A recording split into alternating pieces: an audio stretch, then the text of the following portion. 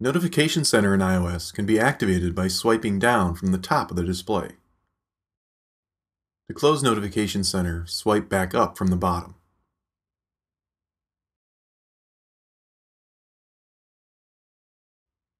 You can clear a single notification by swiping right to left on it.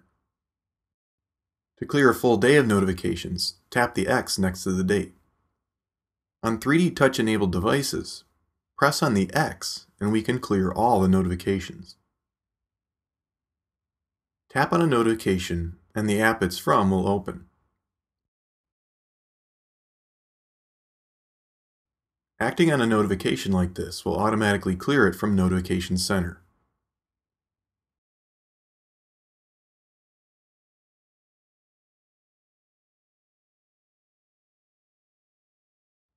Some notifications can be acted on within Notification Center or on the lock screen of your device. When I receive a text message on this iPhone, a banner notification appears at the top of the display. Notice I also get a badge on the Messages app letting me know that I have one unread message. From Notification Center, I could swipe to clear this or press using 3D Touch to bring up the conversation right here without needing to open the Messages app. I can then respond to the message. The iPad which will receive this message doesn't have 3D Touch. So when viewing the message in Notification Center, I need to swipe right to left on it to bring up the Clear button and for this notification, a View button. Tap View and I'm able to reply to the message. Banner notifications can also be acted on if you catch them in time. When a banner alert appears here on the iPhone, swipe down on it to quickly reply to the message. This type of interaction won't be possible with every notification, but for apps like Messages, Mail, and other communication apps, you'll be able to reply or interact with the notification from the banner alert or in Notification Center.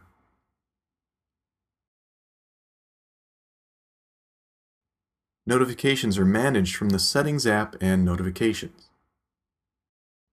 In here, we can set up exactly what apps can send what kind of notifications. If we look at notifications for calendar, I could turn off all notifications for calendar or go through and set up what sort of notification I want to receive for certain things like upcoming events or invitations. There are two notification styles, a banner or an alert.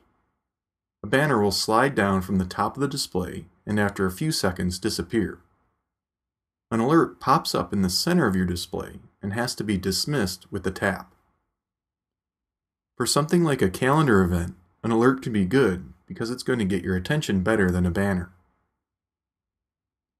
If you'd rather not hear a sound with every event notification, that can be changed or turned off here.